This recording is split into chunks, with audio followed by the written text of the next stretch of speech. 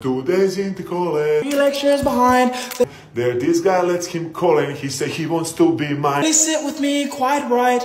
I write because he doesn't really think I like and I Get me locking myself out of my dorm in the middle of the night.